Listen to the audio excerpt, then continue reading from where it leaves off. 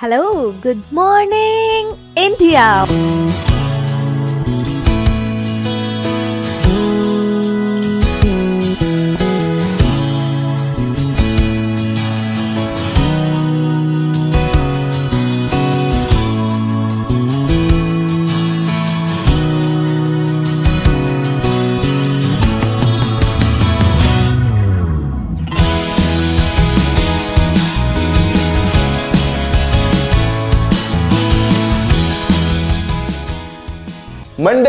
Friday. Back to back classes live from studio आज ही subscribe करें वाईफाई स्टडी चैनल को।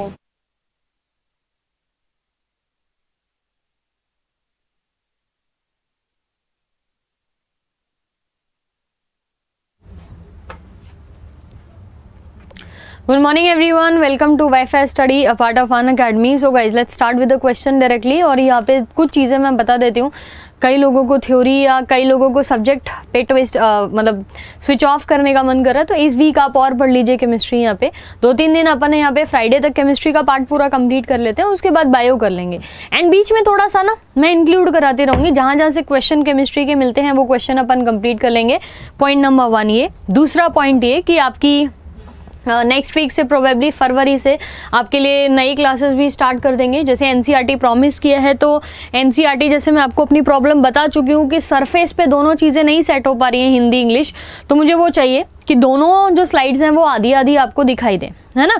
तो वाला पार्ट अपन कंप्लीट करेंगे बट इन अ वे मैं आपको कंप्लीट कराऊँगी, है ना?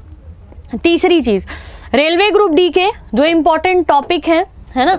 और एनटीपीसी के मतलब रेलवे के टोटल मैं बता रही हूँ। रेलवे में जो भी आपको इम्पोर्टेंट टॉपिक है, और जो क्वेश्चन 2018 और 19 में रेलवे ने पूछे हैं वो वन लाइनर वो भी आपका नेक्स्ट वीक से स्टार्ट हो जाएगा। कहाँ होगा, कैसे होगा, उसको थोड़ा सा टाइम मैनेज करना है।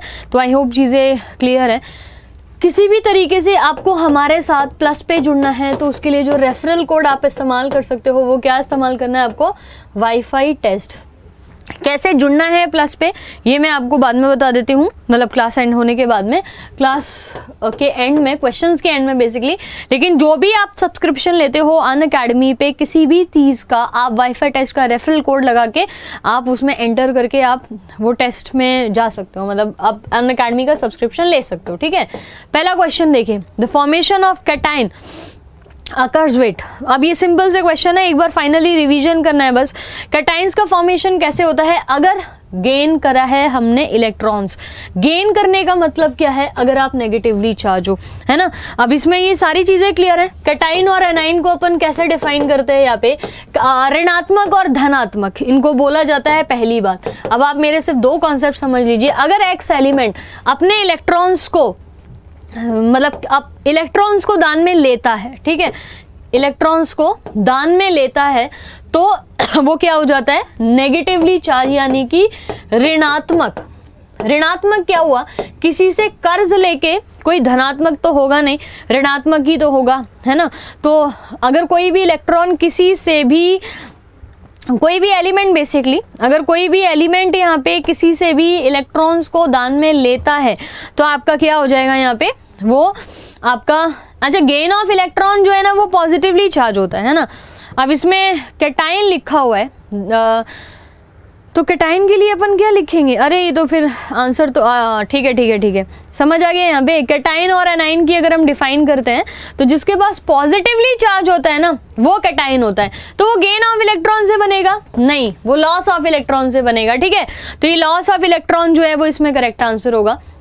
गेन ऑफ़ इलेक्ट्रॉन किसका आंसर है यहाँ पे? एनाइन का।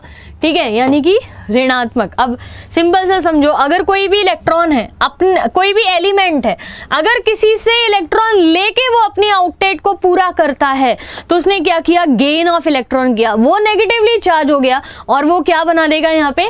एनाइन अगर किसी भी, जैसे सोडियम है या कोई भी इलेक्ट्रॉन की मैं बात करूँ एक्स मेरे पास कोई एलिमेंट है, उसने अगर अपने इलेक्ट्रॉन्स को लूज किया है अपने ऑक्टेट को कंप्लीट करने के लिए तो लॉस ऑफ़ इलेक्ट्रॉन में वो क्या बना लेगा? पॉजिटिवली चार्ज या फिर कैटाइन करके अपन उसको डिफाइन करेंगे। Right right. अब ये लूज करता है तो पॉजिटिव होता है गेन होता है तो नेगेटिव होता है, यानी कि धनात्मक और ऋणात्मक। ठीक है ठीक है। चीज़ें समझ आ गई? अभी ठीक है ना? ओके राइट नेक्स्ट देखिए, यहाँ पे क्वेश्चन इस क्वेश्चन का आंसर आपका लॉस ऑफ़ इलेक्ट्रॉन है ना? लॉस ऑफ़ इलेक्ट्रॉन जो है, वो करेक्ट आंसर नेक्स्ट देखिए, यहाँ पे अच्छा इस क्वेश्चन में हमेशा गलत आंसर देते हैं। आप एक बार से क्वेश्चन ध्यान से पढ़िएगा और आंसर सही दीजिएगा। पहली बात क्वेश्चन को पढ़िए और ज़रा उसमें जो कुछ इंपॉर्टेंट वर्ड्स हैं उनको देखिए।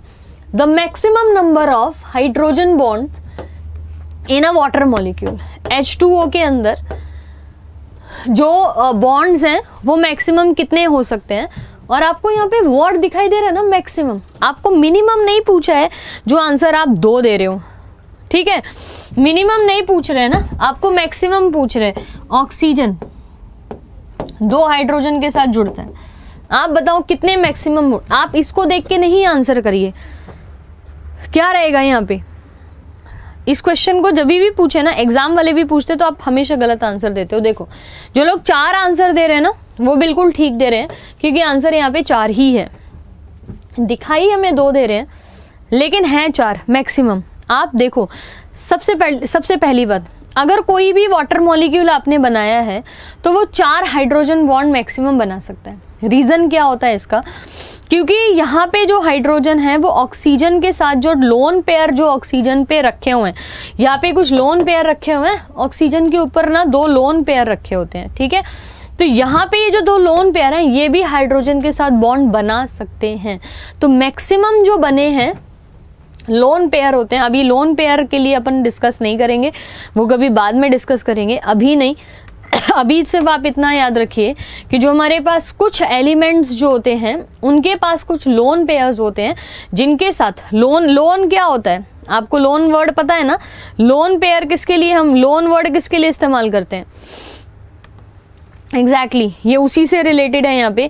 पेयर ऑफ़ इलेक्ट्रॉन जो ऑर्बिटल में किसी के किसी भी ऑर्बिट में जो इलेक्ट्रॉन के पेयर रखे हुए हैं, लेकिन वो बॉन्डिंग में यूज़ नहीं हो रहे, या डायरेक्टली इनको हम बॉन्डिंग में इस्तेमाल नहीं कर रहे।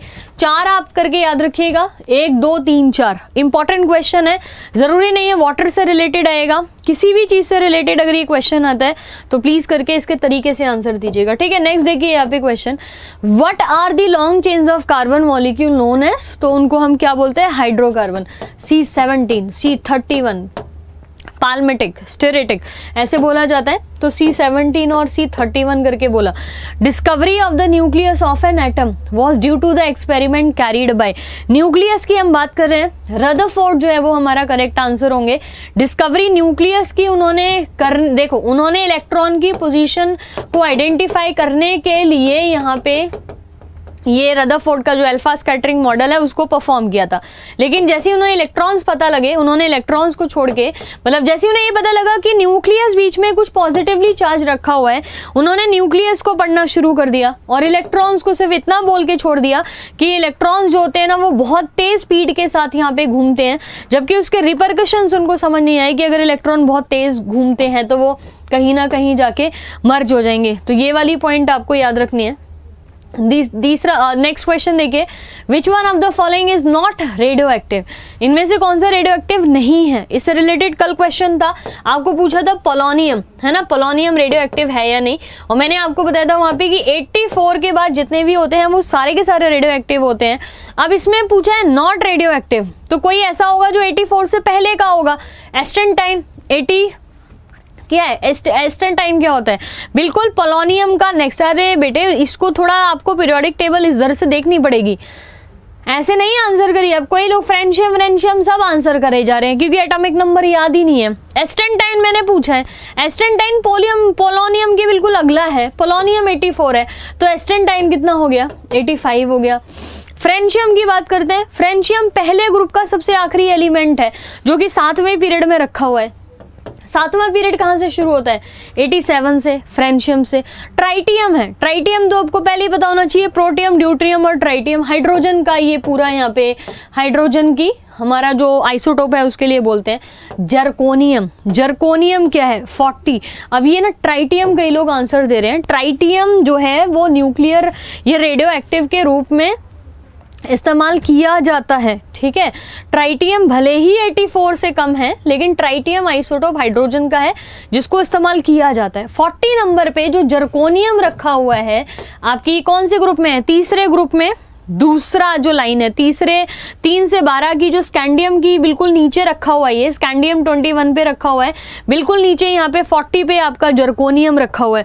अच्छा स्कैंडियम के नीचे तो आपका यट्रियम है, ठीक है? तो ये स्कैंडियम टाइटेनियम टाइटेनियम के नीचे जो है ना, वो आपका जर्कोनियम फोर्टी नंबर का जो एलिमेंट्स है, वो रखे हुए हैं। इस तरीके से लर्न करना है इसको। मतलब पीरियोडिक टेबल भी आप लोग बोलते हो कि लर्न नहीं होती है। लर्न करने का तरीका भी तो पता होना चाहिए ना, कि लर्न करनी कैसे है। लर्न इस तरीके से करनी है, ठीक है? क्वेश्चंस के हिसाब से लर्न करिए, पूरा लर्न हो जाएगा। The main element used in the vulcanization of rubber तो वल्कनाइजेशन की जाती है रबर को स्ट्रेंथ देने के लिए। सल्फ़र जो है ना, वो यहाँ पे इस्तेमाल करते हैं, ठीक है? Blue litmus paper is converted into red in solution Neela litmus जो है ब्लू लिटमस जो है, वो अपने आप को लाल में बदल देता है। ये किसमें होता है? एसिड में, ठीक है? एसिड में। बेस क्या करता है? बेस लाल को नीले में बदलता है। और मैंने आपको बताया था रेड जो है ना, वो एसिड से रिलेट करता है। जो फाइनल आउटकम आएगा, जो भी आएगा, वो हमारा उसके मेन चीज़ से रिलेट करेगा। एसिड खतरनाक चीज़ होती है। लाल हो जाता है उसके बाद जब भी एसिड गिरता है। जैसे बैटरी से निकला हुआ H two S O four तो एसिड से रिलेटेड रेड इसमें ब्लू लिटमस को रेड में बदल दिया है। तो सोल्यूशन यहाँ पे क्या है? एसिड करके याद रखिएगा। नेक्स्ट देखिए यहाँ पे the alpha particles are alpha beta gamma radioactive particles करके इनको डिफाइन किया जाता है। ये रेडियो एक्टिव पार्टिकल्स जो है ना, ये किस तरीके के होते हैं? तो double positively charge like helium nuclei या double positively charge helium nuclei करके इसको हम डिफाइन कर सकते हैं। तो ये अप्रोक्सीमेटली आपका यहाँ पे सही ऑप्शन ठीक है? नेक्स्ट देखिए trichloroacetal was subjected to Cannizzaro reaction by using N H the mixture of the product contain sodium trichloroacetic acid या sodium sodium trichloroacetate and another compound known as what chloroform trichloroethanol right two two two trichloropropanol trichloromethanol ऐसे करके। अब यहाँ पे सबसे पहले आपको ये जो क्वेश्चन यहाँ पे पूछा गया है, ये आपका सिंपली यहाँ पे they are asking you about कि अगर कोई रिएक्शन होती है, और वहाँ पे आपको सिर्फ़ और सिर्फ़ क्वेश्चन जो है ना, वो पूछा जा रहा है कैनीजारो रिएक्शन से रिलेटेड ठीक है? कैनीजारो रिएक्शन से रिलेटेड आप याद रखिएगा, यहाँ पे जो क्वेश्चन आपको पूछा जा रहा है तो ऐसे क्वेश्चंस में सिंपली जो उसके प्रोडक्ट्स हैं, जो इसका दो प्रोडक्ट यहाँ पे इस्तेमाल हम कर रहे हैं ना, उन दोनों प्रोडक्ट्स के बारे में याद रखिएगा कि दोनों प्रोडक्ट से रिलेटेड आपको इन्फॉर्मेशन होना चाहिए, क्योंकि दो प्रोडक्ट यहाँ पे ऑलरेडी दिए होते हैं, तीसरे प्रोडक्ट के हमेशा आपको यहाँ पे पूछा जाता है। अब पहली बात ये कैनिजारो वर्ड जो लिखा हुआ है ना, इससे ज़्यादा कंफ्यूज नहीं होइएगा, क्योंकि कैनिजारो यहाँ पे साइंटिस्ट का नाम है। ये एक तरीके की रिडॉक्स रिएक्शन होती है, जो इस्तेमाल की जाती है बेंजीन ग्रुप के साथ। इसीलिए आपको समझ आ गया होगा, एसिटल डिहाइड ट्राइक्लोरो और ये सारी चीज़ें जो पूछी जा रही हैं। ये एक केमिकल रिएक्शन है जहाँ पे कार्बोक्सिलिक एसिड या एल्कोहल, उसको बनाने के लिए इस्तेमाल किया जाता है। ट्राइक्लोरो एसिटेट को जब सोडियम ट्राइक्लोरो एसिटेट जो यहाँ पे मिक्सचर है, उसमें जो दूसरा कंपाउंड निकलता है, वो याद रखिएगा, two two two trichloropropanol या डी वाला जो ऑप्शन है, उसको यहाँ पे याद रखिए। अभी इन्फॉर्मे रिएक्शन बहुत बड़ी है। अब जैसे मैंने आपको उस दिन सोप के लिए बताया था कि साबुन के लिए आपको R C O N A यानी कि आर कूना करके लर्न करना है। उसी तरीके से आप याद रखिए कैनिजारो रिएक्शन में आपको जो लर्न करना है, वो याद करना है कुक ठीक है? सी ओ ओ के क्या याद करना है? कुक याद रखना है। कैनिजारो रिएक्शन का जो हमारा बाई प्रोडक्ट होता है, वहाँ पे अल्डिहाइड को इस्तेमाल किया जाता है। ट्राइक्लोरो एसिटेट अल्डिहाइड फॉर्मूला क्या होता है इसका? C6H5 इसको जरा ध्यान से समझिएगा इंपॉर्टेंट है। काफ़ी चीज़ें आपको ऐसे क्लियर हो जाएँगी। Trichloro acetic acetate acetaldehyde इसका फॉर्मूला आपका सी सिक्स एच फाइव और अल्डिहाइड लिखा हुआ है तो आप क्या लिखोगे यहाँ पे? सी एच ओ तो C six H five C H O अब इसमें आप चाहें, और यहाँ पे एन ए ओ एच लिखा है, ज़रूरी नहीं है एन ए ओ एच लिखा हो, यहाँ पे कभी के ओ एच भी लिखा हो सकता है। तो कभी कुक भी लिखा होगा, या फिर कूना भी करके मेंशन होगा। तो दोनों आपको मेंशन किए जा सकते हैं तो सोप से रिलेटेड और जो यहाँ पे बनता है, वो एक अल्डिहाइड बनेगा। मतलब अल्डिहाइड से एक अल्कोहल बनेगा ओ OH और साथ में या तो आपको कुक लिखा होगा या कूना लिखा होगा। ठीक है? Two two two trichloropropanol करके याद रखना है। Again C six H five ही होगा, लेकिन तीन टाइम्स है ना? नेक्स्ट देखो cutting and peeling of onion brings tear to the eyes because of the presence of what sulphur ठीक है? सल्फ़र की वजह से। नेक्स्ट देखिए यहाँ पे। Modern periodic table is based on atomic number of the elements the significance of atomic number was proved by the experiment of what सारी की सारी पीरियोडिक टेबल जो थी वो किस पे बनाई जा रही थी? एटॉमिक मास के ऊपर बनाई जा रही थी। लेकिन जब ही, जैसे ही पीरियोडिक टेबल एटॉमिक नंबर के हिसाब से बनाई गई पीरियोडिक टेबल बिल्कुल सही सेट हो गई, है ना? मोजले तक मोजले हेनरी मोजले से पहले जितनी भी पीरियोडिक टेबल थी, वो सारी की सारी एटॉमिक मास पे थी। लेकिन जैसी एटॉमिक मास के बाद मोजले ने एटॉमिक नंबर पे बनाई, एकदम परफेक्ट पीछे कुछ कुछ दिक्कत आ रही थी। यहाँ पे आप आंसर बताइए, किस लिए? आप देखो इसमें सिंपल सी चीज़ है। आप लोग को ये याद है कि मोजले पीरियोडिक टेबल पहली बार जो एटॉमिक नंबर पे बनी थी, वो मोजले ने ही बन मॉडर्न पीरियोडिक टेबल जो पहली बार ये एटॉमिक नंबर पे बनी थी, ये हेनरी मोजले ने बनाई थी। तो ये जो एक्सरे स्पेक्ट्रा किया गया था, वो भी मोजले के द्वारा ही किया गया था। तो मोजले का जो एक्सरे स्पेक्ट्रम का काम था, उसी के बेसिस पे, ठीक है? कैथोड रेज हैव अभी ये पहले एक बार क्वेश्चन कराया था पॉजिटिव नेगेटिव को लेके तो पता ही नहीं कुछ लोगों को क्या है यहाँ पे। मतलब seriously this is not the joke but सच में, कुछ लोगों को यहाँ पे क्या है कि उनको पर्सनली चाहे चीज़ें कितनी भी आती हों या नहीं आती हों, लेकिन यहाँ पे नेगेटिव कमेंट करके नेगेटिव माहौल बनाने में ना एक्सपर्ट ही हैं। प्लीज़ करके, आप लोग से रिक्वेस्ट है। अगर आप नहीं चीज़ों को रिवाइज करना चाहते हो या नहीं पढ़ना चाहते हो तो आप प्लीज़ करके, जब हम कैथोड रे ट्यूब की बात करते हैं या कैथोड रे की बात करते हैं तो चार्जेस को ज़रा समझो। अब कैथोड रे की मैं बात करूँ। कैथोड रे क्या होता है? नेगेटिवली चार्ज एनोड रे क्या होता है? पॉजिटिवली चार्ज यहाँ पे आपको पूछा है कि कैथोड रे में मास के हिसाब से या चार्ज के हिसाब से? तो चार्ज तो नेगेटिव होता ही है और उसका कुछ ना कुछ मास भी होता है। तो मास एंड चार्ज बोथ यहाँ पे आपका डी आंसर होगा और नेगेटिवली चार्ज आप लोग यहाँ पे तरीके से याद रखिएगा, ठीक है? न्यूट्रॉन वॉज़ डिस्कवर्ड बाय तो चैडविक करके याद रखिए। न्यूट्रॉन जो है वो चैडविक के द्वारा डिस्कवर किए गए थे। Natural rubber is a polymer of word तो नेचुरल रबर जो होती है, वो हम किसके लिए बोलते हैं? आइसोप्रीन इनके फॉर्मूले भी याद रखिएगा, ठीक है?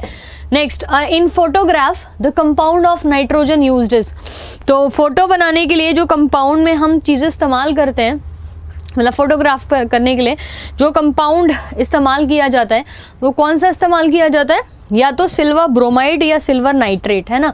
तो आप यहाँ पे सिल्वर नाइट्रेट करके याद रखिएगा A G N O three minus करके डिफाइन किया जाता है ना? नेक्स्ट देखिए यहाँ पे which gas is known as fuel of future तो सिंपल है हाइड्रोजन काफ़ी सारी गाड़ियाँ भी निकलना शुरू हो गई हैं। टाटा और होंडाई ने लॉन्च भी कर दी हैं। मेरे ख्याल टाटा नेक्स्ट ईयर लॉन्च करेगी, लेकिन होंडाई ने तो लॉन्च कर ही दिया है अपनी गाड़ी। तो ये हाइड्रोजन के ऊपर डिपेंड करेंगी। मतलब अभी, जैसे मैं बोल रही हूँ, आपको इलेक्ट्रिकल कार्स जो है लॉन्च कर दी हैं। कुछ दस पाँच साल के बाद आपको ये हाइड्रोजन कार जो है ना वो भी दिखाई देने लग जाएँगी। देखो next question which of the following order present the correct sequence of ionic increasing basic nature basic nature की बात हो रही है। चार चीज़ें आपके पास ऑप्शन में दी हुई हैं। एक A L two O three दिया हुआ है, एक आपको पोटेशियम डाइऑक्साइड दिया हुआ है, एक sodium N A two O दिया हुआ है और एक मैग्नीशियम ऑक्साइड दिया हुआ है। अब ये एन ए टू ओ या के टू ओ आपने जनरली नहीं सुना होगा, लेकिन यहाँ ऑप्शन में मेंशन है। आपको इनके बेसिक ऑक्साइड्स के हिसाब से उसको चीज़ें बतानी है कि कौन सी किस तरीके से बढ़ेगी। देखो बेसिक ऑक्साइड की जब भी हम बात करते हैं ना, सबसे पहले तो आपको मैंने यही हिंट दे दिया कि ये दोनों एलिमेंट आपके रहेंगे पीछे, या ये जो कंपाउंड है, क्योंकि N A two K two exist नहीं करता है ओ और ओ एग्जिस्ट करता है। पोटेशियम के लिए हम बात करें, इनकी बैलेंसी एक होती है। ओ की लेकिन हमने बात करी ऑक्सीजन को दो बैलेंसी चाहिए होती है। इसलिए ये दो ए को और दो के को लगा सकता है, ठीक है? क्योंकि ऑक्सीजन की वैलेंसी भी पूरी होनी चाहिए, इसलिए हमने पोटेशियम दो ले लिए और सोडियम दो ले लिए। अब, यहाँ पे आपका जो ऑक्सीडेशन स्टेट है, वो इसके हिसाब से जाएगा। ए जो है, वो सबसे ज़्यादा, जब बेस के साथ रिएक्ट करेगा तो बेसिक नेचर सबसे ज़्यादा होगा। यहाँ पे इंक्रीजिंग है। देख रहे हो आप? साइन जो है, ऐसे लगा हुआ है। तो कोई उधर से ना समझे। इंक्रीजिंग सीक्वेंस है और जो ऑप्शन है, उसमें ही उल्टा है, ठीक है? ऑप्शन में ही उल्टा है। A L two O three करके याद रखिएगा। Increasing basic nature of basic oxide तो सबसे ज़्यादा A L two O three का, फिर एम जी ओ का, फिर एन का और फिर पोटेशियम ऑक्साइड के लिए, ठीक है? नेक्स्ट देखिए यहाँ पे the activity of radio isotope changes with radio isotope की गतिविधियाँ किसके साथ चेंज होती है? तो रेडियो आइसोटोप किसी भी चीज़ के साथ डिपेंड नहीं करते। टेम्परेचर प्रेशर और केमिकल नन ऑफ़ दीज करके याद रखिए। रेडियो आइसोटोप्स जो है उनकी एक्टिविटी किसी भी दूसरी चीज़ के साथ डिपेंड नहीं करती। None of them none of these is correct answer right gold and silver are extracted from their respective ores by बहुत इंपॉर्टेंट क्वेश्चन अब ये क्वेश्चन मेटलर्जी uh, का पूरा। तो मेटलर्जी अपने को किसी भी एक पर्टिकुलर क्लास में डिटेल में पढ़ना है। तो मेटलर्जी ज़रा अच्छे से पढ़ने की कोशिश करेंगे, है ना, किसी भी क्लास में, इस क्वेश्चन के लिए। अभी तक जब आपको पूछते हैं तो आयरन के लिए सिल्वर के लिए, इन सब चीज़ों के लिए पूछते हैं। अब ज़रा इस चीज़ के लिए याद रखिएगा कि गोल्ड एंड सिल्वर जो है, वो हाइड्रो हाइड्रोमेटलर्जी करके बोला जाता है निकालने के लिए। Gold and silver free form में पाए जाते हैं, क्योंकि वो रिएक्ट नहीं करते हैं। तो इनका एक एक ही, जैसे एक या दो ही और होते हैं, नहीं तो वो फ्री फॉर्म में ही पाए जाते हैं ना नॉन रिएक्टिव की वजह से। नेक्स्ट देखिए मिनीमाटा डिज़ीज़ किसके द्वारा कॉज होती है? तो मिनियामता या मिनीमाटा डिज़ीज़ करके इसको बोला जाता है। तो हमारे काफ़ी सारे ऐसे एलिमेंट्स हैं जो कि हमारी बॉडी के लिए पर्टिकुलरली हमारे लिए बहुत ज़्यादा नुकसानदायक होते हैं। जैसे मरकरी है, कैडमियम है लेड है, ये तीनों ही और जिंक ये चारों चीज़ें हमारी बॉडी के लिए तो बहुत ही रिस्पॉन्सिबल होती हैं, बहुत ज़्यादा हार्मफुल होती हैं, जैसे कैडमियम मिटाई करता है। लेड नर्वस सिस्टम को अफेक्ट करता है और जो बंदूक की गोली होती है, उसमें भी लेड ही डाला जाता है। और जिंक हमारे ब्रेन के लिए थोड़ा सा हार्मफुल यहाँ पे होता है, ठीक है? तो ये चीज़ एक बार आप याद रखिएगा। बाकी इससे रिलेटेड मैं आपको बता देती हूँ, नीरज सर भी पर्टिकुलरली ये क्लास इवनिंग के टाइम पे स्टार्ट करें हैं। छोटे छोटे सेशंस होंगे, लेकिन बहुत इंपॉर्टेंट होंगे। तो टॉपिक्स वगैरह जो है ना, वो आपके उसमें कवर हो जाएँगे। उन छोटे छोटे सेशन से आप कंप्लीट करिएगा। बाकी छोटे छोटे टॉपिक्स या एक लॉन्ग टॉपिक जैसे एक पर्टिकुलर एक टॉपिक को लेके, जैसे मैंने आपको द ह्यूमन डिज़ीज़ या ह्यूमन न्यूट्रिशन है, ये दोनों चैप्टर बहुत इंपॉर्टेंट है। लेकिन हम जब भी उसको नॉर्मल थ्योरी के बीच में करते हैं तो हम जल्दी से उसको भगाने की कोशिश करते हैं। तो अब क्या होगा कि हर टॉपिक के लिए स्लॉट दिया जाएगा। जैसे मैं आपको पहले ही बता दूँगी कि कौन सा टॉपिक करना है तो उसी हिसाब से चीज़ें अपन कंप्लीट करेंगे, ठीक है? तो एक बार यहाँ पे ध्यान दीजिएगा, और वाईफाई स्टडी पे वाईफाई स्टडी जो है वो प्लस पे भी आपके साथ अन अकेडमी पे जुड़ा हुआ है। तो अन अकेडमी पे क्लासेस लेने के लिए आप वाईफाई स्टडी अन अकेडमी का जो रेफ अन अकेडमी का जो आपका लर्निंग ऐप है, उसको आप डाउनलोड करिए। लर्निंग ऐप डाउनलोड करने के बाद रेलवे के सेक्शन में जाइए। और ध्यान रखिए, अन अकेडमी के बहुत सारे ऐप हैं। ये ना हो कि आप प्लस ऐप, एजुकेटर ऐप और ये सब डाउनलोड करो। लर्निंग ऐप पे डाउनलोड करने के बाद आप वहाँ पे रेलवे के सेक्शन में जाइएगा। रेलवे के सेक्शन में जाके गेट सब्सक्रिप्शन करके सिक्स मंथ्स का थर्टी सिक्स हंड्रेड का सब्सक्रिप्शन रहता है, जहाँ पे आपकी सारे सब्जेक्ट की क्लासेस टेस्ट क्विजेज पीडीएफ छः महीने के लिए आपका एक तैयारी तरीके वाइज और रेगुलर वाइज रूटीन वाइज हो जाती है। वहाँ पे आपको जो कोड लगाना है रेफरल कोड वो क्या लगाना है? वाईफाई टेस्ट तो इसके थ्रू ही आप वहाँ पे एंटर कर पाओगे। तो वाईफाई टेस्ट कोई भी आप अन अकेडमी का सब्सक्रिप्शन ले रहे हो, किसी भी चीज़ से रिलेटेड आप वाईफाई टेस्ट जो है ना, वो रेफरल कोड लगाइए। बाकी अगली क्लास में अपन केमिस्ट्री के वापस क्वेश्चन करेंगे। आज की क्लास को यहीं पर रोकते हैं, कल की क्लास में मिलते हैं। आज के लिए thank you so much let's meet tomorrow bye bye